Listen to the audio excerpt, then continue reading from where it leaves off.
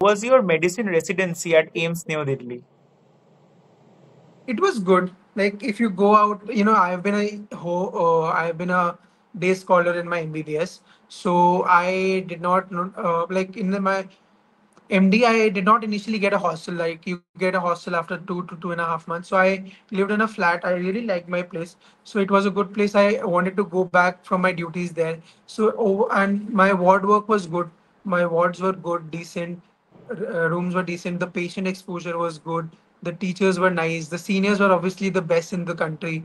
So you know we had a good uh, discussion always. We tried to discuss a lot of things. Uh, there was you know there were a cutthroat thing like i always believe that you learn more when you're you know teaching or you know discussing things with your peers peer discussion according to me is one of the most important thing in our medicals medicos life.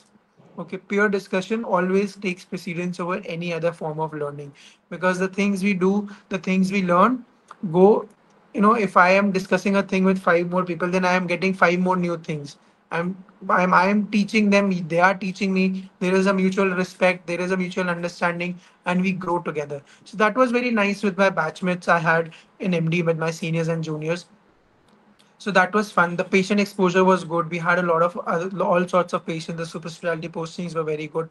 Although it was hectic at times, it was relaxed at some times also. It was a you know balance was there. So it was a very good three years for me. Obviously, I missed my home. Uh, so I decided to you know uh, come back home uh, to Jaipur to do my super specialty. Thank you, sir.